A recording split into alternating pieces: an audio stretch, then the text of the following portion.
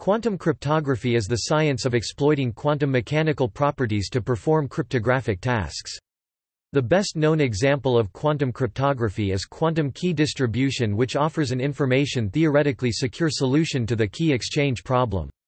The advantage of quantum cryptography lies in the fact that it allows the completion of various cryptographic tasks that are proven or conjectured to be impossible using only classical i.e. non-quantum communication. For example, it is impossible to copy data encoded in a quantum state. If one attempts to read the encoded data, the quantum state will be changed no cloning theorem. This could be used to detect eavesdropping in quantum key distribution.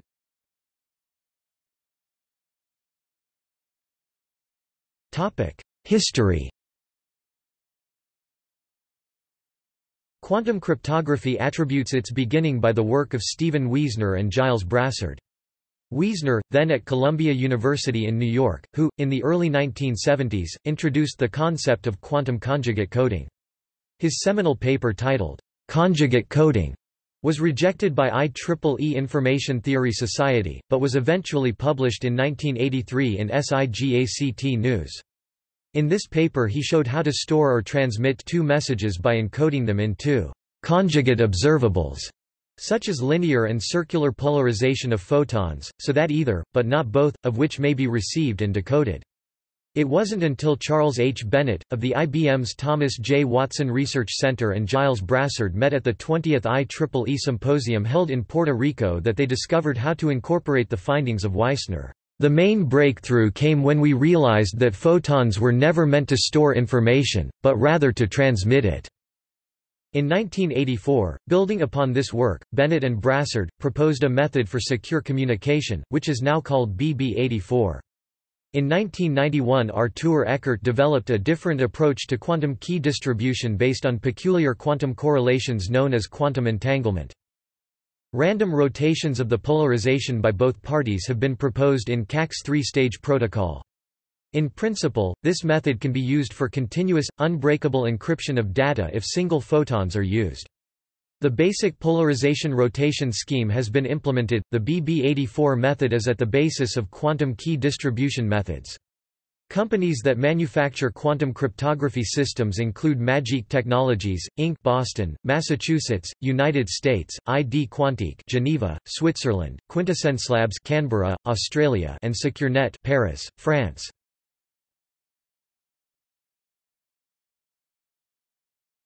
Topic: Quantum key distribution.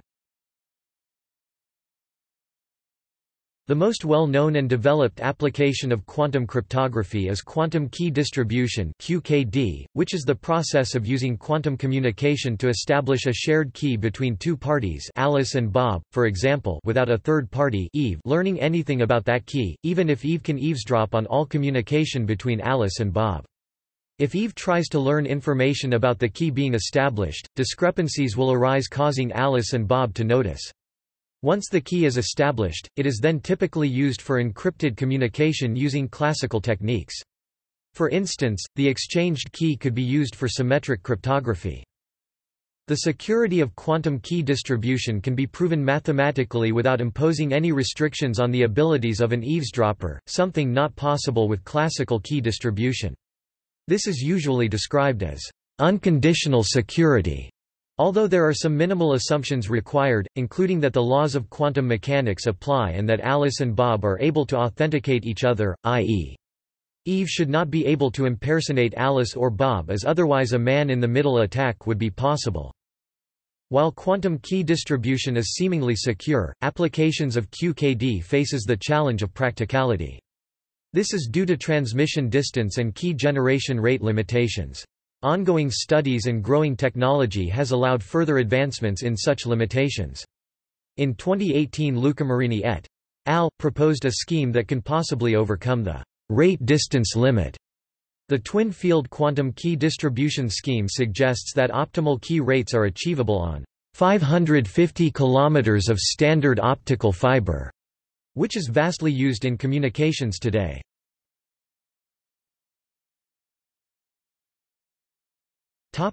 Quantum coin flipping Unlike quantum key distribution, quantum coin flipping is a protocol that is used between two participants who do not trust each other. The participants communicate via a quantum channel and exchange information through the transmission of qubits. For example, the sender, Alice, will determine a random basis and sequence of qubits and then transmit them to Bob. Bob then detects and records the qubits. Once Bob has recorded the qubits sent by Alice, he makes a guess to Alice on what basis she chose. Alice reports whether he won or lost to Bob and then sends Bob her entire original qubit sequence. Since the two parties do not trust each other, cheating is likely to occur at any step in the process. Quantum coin flipping is theoretically a secure means of communicating through two distrustful parties, but it is difficult to physically accomplish.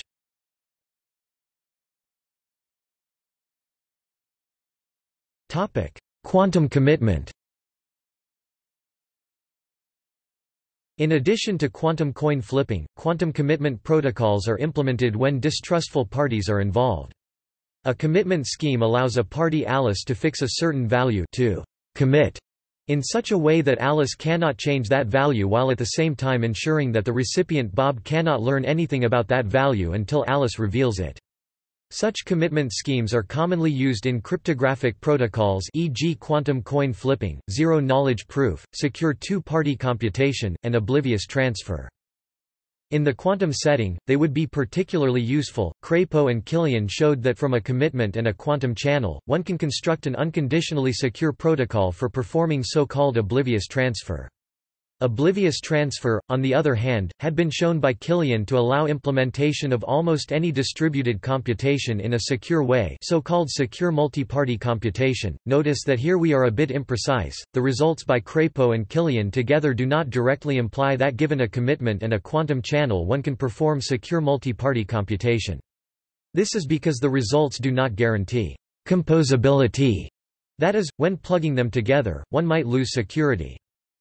Unfortunately, early quantum commitment protocols were shown to be flawed. In fact, Mayers showed that unconditionally secure quantum commitment is impossible. A computationally unlimited attacker can break any quantum commitment protocol, yet the result by Mayers does not preclude the possibility of constructing quantum commitment protocols and thus secure multi-party computation protocols under assumptions that they are much weaker than the assumptions needed for commitment protocols that do not use quantum communication. The bounded quantum storage model described below is an example for a setting in which quantum communication can be used to construct commitment protocols. A breakthrough in November 2013 offers unconditional security of information by harnessing quantum theory and relativity, which has been successfully demonstrated on a global scale for the first time. More recently, Wang et al. proposed another commitment scheme in which the unconditional hiding is perfect. Topic: Bounded and noisy quantum storage model. One possibility to construct unconditionally secure quantum commitment and quantum oblivious transfer (OT) protocols is to use the bounded quantum storage model (BQSM). In this model, we assume that the amount of quantum data that an adversary can store is limited by some known constant q. We do not, however, impose any limit on the amount of classical i.e., non-quantum data the adversary may store. In the BQSM, one can construct commitment and oblivious transfer protocols. The underlying idea is the following, the protocol parties exchange more than q quantum bits qubits. Since even a dishonest party cannot store all that information the quantum memory of the adversary is limited to q qubits, a large part of the data will have to be either measured or discarded. Forcing dishonest parties to measure a large part of the data allows the protocol to circumvent the impossibility result. Commitment and oblivious transfer protocols can now be implemented. The protocols in the BQSM presented by Damgard, Fehr, Salvail, and Schaffner do not assume that honest protocol participants store any quantum information. The technical requirements are similar to those in QKD protocols.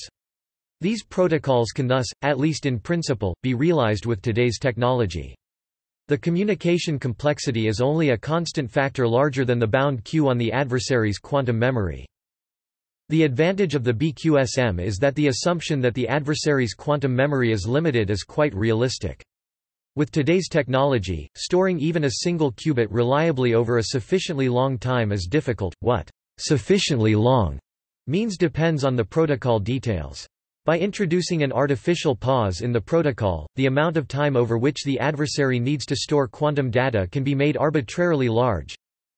An extension of the BQSM is the noisy storage model introduced by Wehner, Schaffner and Terhal. Instead of considering an upper bound on the physical size of the adversary's quantum memory, an adversary is allowed to use imperfect quantum storage devices of arbitrary size. The level of imperfection is modeled by noisy quantum channels. For high enough noise levels, the same primitives as in the BQSM can be achieved and the BQSM forms a special case of the noisy storage model. In the classical setting, similar results can be achieved when assuming a bound on the amount of classical non-quantum data that the adversary can store. It was proven, however, that in this model also the honest parties have to use a large amount of memory namely the square root of the adversary's memory bound. This makes these protocols impractical for realistic memory bounds. Note that with today's technology such as hard disks, an adversary can cheaply store large amounts of classical data.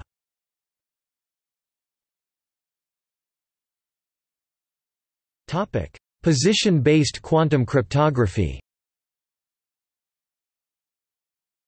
The goal of position-based quantum cryptography is to use the geographical location of a player as its only credential. For example, one wants to send a message to a player at a specified position with the guarantee that it can only be read if the receiving party is located at that particular position. In the basic task of position verification, a player, Alice, wants to convince the honest verifiers that she is located at a particular point. It has been shown by Chandran et al. that position verification using classical protocols is impossible against colluding adversaries who control all positions except the prover's claimed position. Under various restrictions on the adversaries, schemes are possible. Under the name of quantum tagging, the first position-based quantum schemes have been investigated in 2002 by Kent. A U.S. patent was granted in 2006. The notion of using quantum effects for location verification first appeared in the scientific literature in 2010.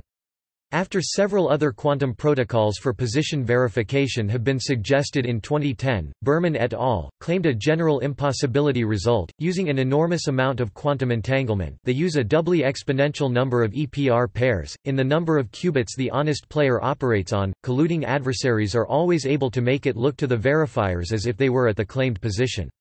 However, this result does not exclude the possibility of practical schemes in the bounded or noisy quantum storage model see above. Later Beigi and Koenig improved the amount of EPR pairs needed in the general attack against position verification protocols to exponential. They also showed that a particular protocol remains secure against adversaries who controls only a linear amount of EPR pairs. It is argued in that due to time energy coupling the possibility of formal unconditional location verification via quantum effects remains an open problem.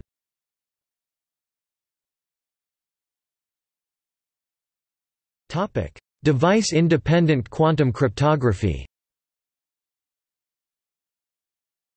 A quantum cryptographic protocol is device-independent if its security does not rely on trusting that the quantum devices used are truthful. Thus the security analysis of such a protocol needs to consider scenarios of imperfect or even malicious devices. Mayers and Yao proposed the idea of designing quantum protocols using self-testing Quantum apparatus, the internal operations of which can be uniquely determined by their input-output statistics.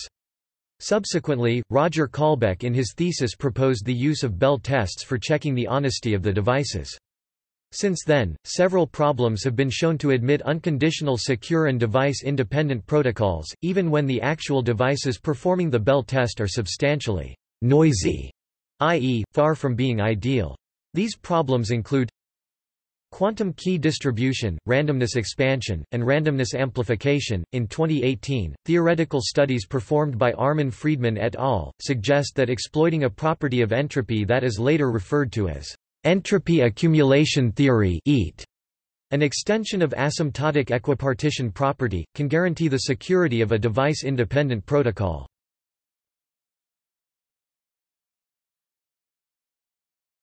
Topic: Post-quantum cryptography quantum computers may become a technological reality, it is therefore important to study cryptographic schemes used against adversaries with access to a quantum computer. The study of such schemes is often referred to as post-quantum cryptography. The need for post-quantum cryptography arises from the fact that many popular encryption and signature schemes schemes based on ECC and RSA can be broken using Shor's algorithm for factoring and computing discrete logarithms on a quantum computer. Examples for schemes that are, as of today's knowledge, secure against quantum adversaries are McEliece and lattice-based schemes, as well as most symmetric key algorithms. Surveys of post-quantum cryptography are available. There is also research into how existing cryptographic techniques have to be modified to be able to cope with quantum adversaries. For example, when trying to develop zero-knowledge proof systems that are secure against quantum adversaries, new techniques need to be used. In a classical setting, the analysis of a zero-knowledge proof system usually involves rewinding, a technique that makes it necessary to copy the internal state of the adversary. In a quantum setting, copying a state is not always possible no cloning theorem, a variant of the rewinding technique has to be used. Post-quantum algorithms are also called quantum resistant because, unlike QKD, it is not known or provable that there will not be potential future quantum attacks against them. Even though they are not vulnerable to Shor's algorithm, the NSA is announcing plans to transition to quantum-resistant algorithms.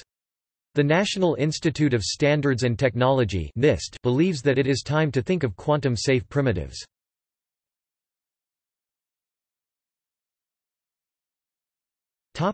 Quantum cryptography beyond key distribution So far, quantum cryptography has been mainly identified with the development of QKD protocols. Unfortunately, symmetric cryptosystems with keys that have been distributed by means of QKD become inefficient for large networks many users, because of the necessity for the establishment and the manipulation of many pairwise secret keys the so-called key management problem. Moreover, QKD alone does not address many other cryptographic tasks and functions, which are of vital importance in everyday life. Besides quantum commitment and oblivious transfer discussed above, research on quantum cryptography beyond QKD revolves around quantum digital signatures, quantum one-way functions and public key encryption, quantum fingerprinting, entity authentication e.g. See quantum readout of PUFs, etc.